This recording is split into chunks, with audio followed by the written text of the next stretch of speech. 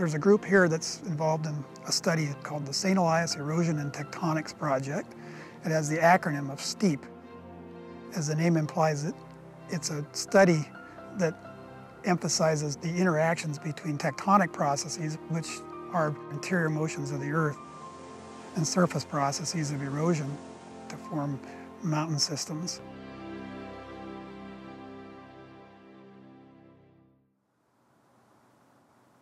The St. Elias mountain range is in southern Alaska, right in the corner of Alaska, and it's characterized by extreme topographic relief, so, but with elevations top out at 18 to 20,000 feet. Most people in North America probably can't even find this place on a map, and yet it's North America's greatest mountain range. The feature that makes this area particularly significant, and the reason we're actually here in the STEEP project, is that there's a unique interaction here between erosion and tectonics. Tectonics acts to build the mountains and erosion acts to destroy them. And in this region, both of those processes occur at an extremely high rate relative to many other parts of the world. We're sitting in a unique climatic setting at high latitude in the North Pacific, and strong North Pacific storms pound this coastline every winter and drop very large quantities of snow, 100 feet or more in many of the high mountain regions. And those accumulate over time to produce glacial ice, which represent by most people estimates, the most aggressive erosion agents on the planet. And so we're looking at that particular interaction in which we have the glacial systems and a very active tectonic system to build this particular mountain range.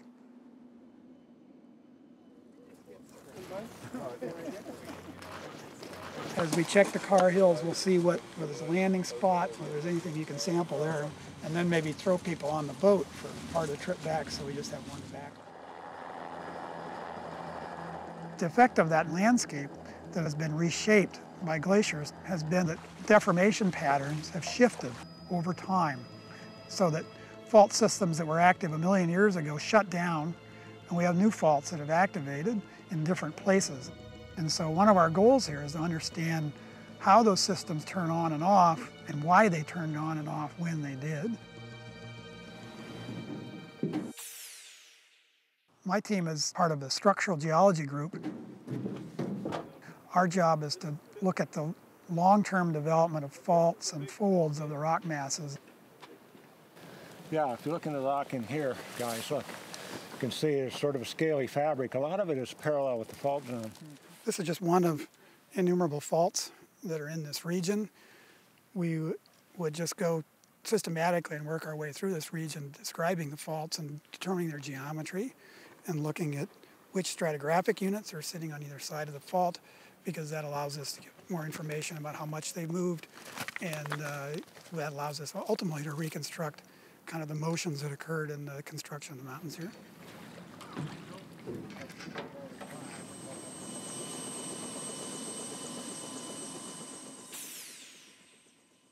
Well, a lot of the geology um, that they're looking at tells you about the motions that have happened in this area during the past, and the GPS tells you the motions that are happening right now at this instant.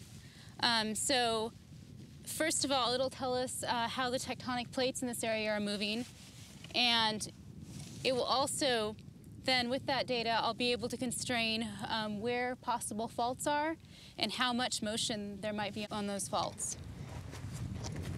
So we see a tectonic process here in which motion on those faults has acted to produce the mountains. The other part of the story that's right here in front of us, we see a glacier that's actively carving out the landscape and dumping sediments down this fjord. That process has been acting on this mountain range for at least five million years. And that interaction of how those come together is sort of the central theme of this particular project. We're going to go up on the west side of Icy Bay to look at the Yakataga Formation. Some people think it's as old as 15 million years, but most people think it's about 5 million years, and it really marks the start of sedimentation from the glacier. So we're going to be looking at glacial derived material in the rock record out in front of the mountain belt.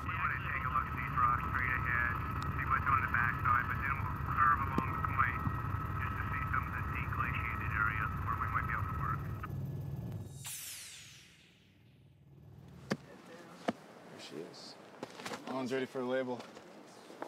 Well, this is an interesting exposure because this, these are rocks that are probably about 3 million years old. So you can see all these white spots, these are clasts. So these were pieces of rock that were carried by the glacier, were entrained into the ice, and came out on icebergs, and they dropped down into this brown unit, which was soft mud.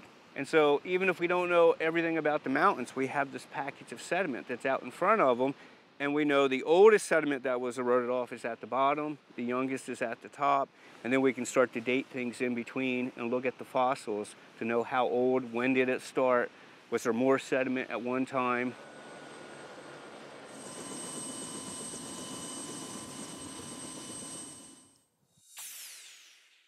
Well, I'm studying the speed of the glacier for use as a measurement of what the erosion rate might be as part of the St. Elias Erosion Tectonics Project.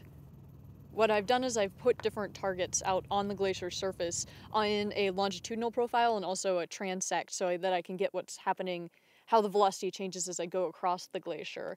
And I'm using this theodolite, which is a surveying tool, to measure the angle change over a period of six days. So basically, the more the angle changes over that period, the faster it's going.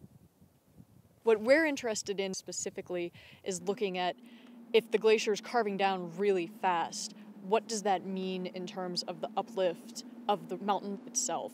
Does it mean that the glacier will just carve down? Does it mean that they'll actually, because the glacier is carving down, it's actually thinning the crust and making it slightly lighter, so maybe it will uplift a little faster because it's lighter? We're interested in looking at those kind of interactions.